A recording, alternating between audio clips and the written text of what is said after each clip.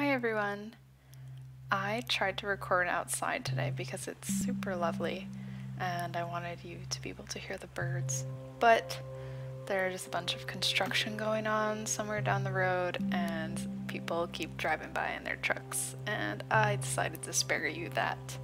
So hopefully I can find a quiet place to record sometime where you can hear birds and nice nature sounds. So other than that, today I wanted to talk about Mayshroom, the art challenge that I put out on Instagram and Twitter so that people could follow along with me and draw a bunch of mushrooms. I came up with this idea with the help of two of my patrons, Bronwyn and Liz. I was looking for an excuse to draw mushrooms. They're really weird and cool, and I wanted to explore different shapes and textures and colors because I use mushrooms in my art a lot and I wanted to have a, a greater knowledge of what I could do with them. So they helped me coin the hashtag Mayshroom and I made a list of mushrooms, one for each day in the month of May.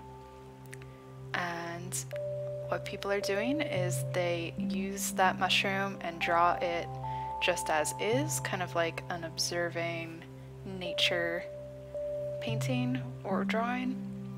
Or they take it and they do something creative with it, which is really cool to see.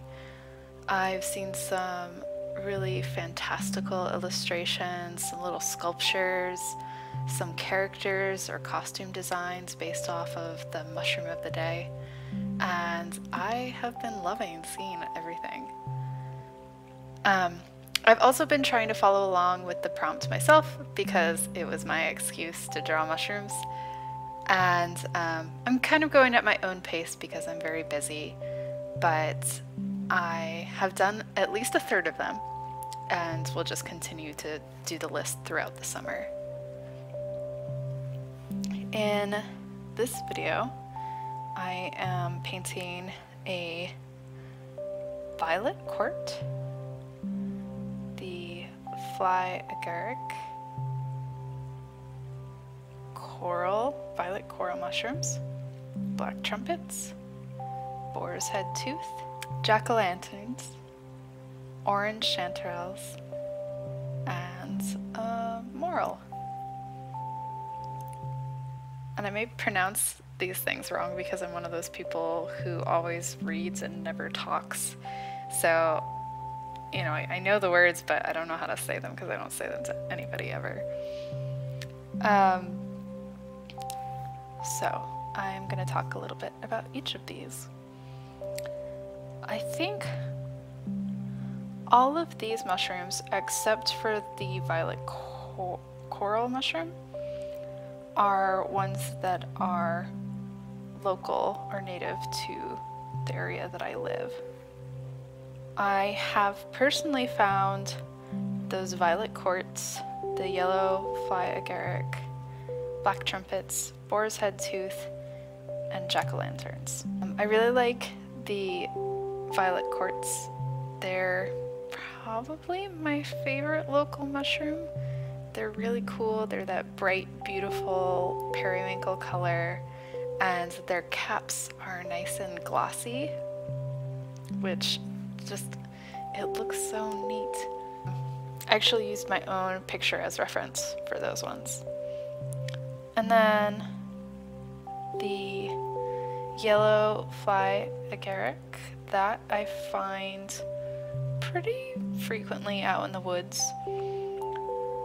Um, and I like those because again, the color is super bright and I love all the little flecks on the top. Those those little flecks, I believe, are from the uh, the veil that kind of covers the top of them, and then when the cap kind of expands and grows, those little dots are just kind of what's left of the the film that was covering them. I could be wrong about that. I have to check. Though I've never found a violet coral, there are other coral mushrooms that I find around here that are more of a pale, fleshy color. Um, the first time I found those was a couple years ago. I was on a hike with my dad for my birthday. Um, we were doing an overnight hike up in northern New Hampshire and we saw a lot of cool things. We saw these cool little coral mushroom clusters, which I thought would be a really neat thing to base a city design off of. They just look so weird and sci-fi. Um, we saw a grouse that was kind of strutting around near us and didn't really care that we were there. There was a cool little birch forest. Lots of other mushrooms. I'm terrible to hike with because I always want to stop and look at all the mushrooms and all the weird little things that I find. I, those are probably some of the, the, more exciting things that we saw on the, the hiking trip. Oh, we found a cool log that was just covered in puffball mushrooms. It was like a little party. That was cool. Um, so black trumpets Black trumpets were probably the first edible mushroom that I found that got me into mushroom foraging. I found them in a little cluster out in the woods on this this path that nobody had taken in quite a long time. It was pretty overgrown and I wasn't actually even sure that it was a path because it disappeared in places and I kind of just walked through the woods. Um, so I found a cluster of them and I was like, what are these? These are so weird. I've never seen these before. They're very like crusty and grotesque looking. And so when I went home, I looked them up. I found out what they were. I found out they were edible and um, I learned how to cook some really, really good gravy with them. And I love that they have this very earthy rich flavor. I'm really hungry for mashed potatoes now. Um, I recommend those if you like dark, earthy flavors. They're so tasty. And you can find them even in grocery stores sometimes, or like health food stores. They'll have like little packages of dried mushrooms. You can usually find black trumpets there. Boar's head tooth is another mushroom I found pretty nearby.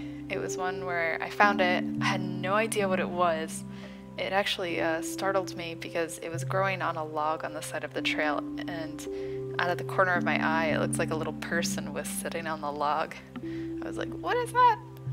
Um,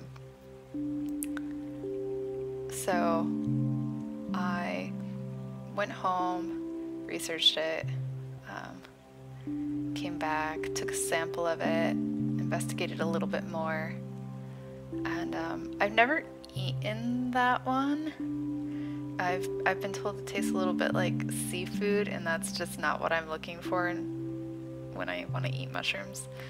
So, um, it looks really cool, but I haven't eaten it. If you've eaten it, let me know. Also, I've heard this called other things, and I've been told that only people from New Hampshire call it boar's head tooth. So I don't know if something got lost in translation somewhere, if it's just a local name for it, or what, but um, you might know that mushroom by a different name. Jack-o'-lanterns I have found in the woods. They were all growing on a cluster on this log, and they grow there like every year. I wanted to find out if they were orange chanterelles or if they were jack-o'-lanterns. So I did a bunch of research, learned to tell the difference between the two, and the ones that I found are definitely jack-o'-lanterns, which is a bummer because you can't eat them. But, um, well, you can't eat them. Not only can you not eat them, and they're not recommended, they don't taste good, they're poisonous, so don't eat them. Cool thing about them though is they are bioluminescent. They glow in the dark. It's very, very faint and um, I haven't gone out down that path during the night, so I don't know if you can see it faintly at all with your eyes. I don't know if you would have to take like a, a photo with the long exposure to really pick it up. But just the fact that they glow is pretty cool. Um, the orange chanterelles, I have not eaten, but maybe I'll I'll try to find some and cook some in the near future because I've been told that they're really really good. And morels. Morels are kind of like the mushroom that everybody is obsessed with. Um, at least people who eat mushrooms. And um, I've had it and they were okay.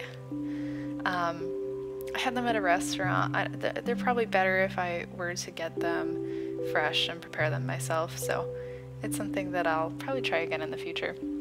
I've never found them in the woods, and I would be super excited to find some in the woods. Yeah, so that's my quick little ramble about all these different mushrooms. Um, the other two mushrooms that I've painted are Chicken of the Woods and Hen of the Woods. I have tried both of those mushrooms, they're both edible. I don't like Chicken of the Woods that much, I don't like the texture. Could be that the ones I had were just not super great, because a lot of people I know really like those. Um, Hen of the Woods, on the other hand, they're great. I'm probably gonna go cook myself some for my late lunch. They're super tasty. They have that rich, buttery, earthy flavor to them. And um, you can get them at the grocery store most of the time. I live out in the middle of nowhere and they have them at my grocery store. I hope to be doing more of these little mushrooms and I'll share them as I go. If there's any that you would like to see me paint that are not on the list, let me know.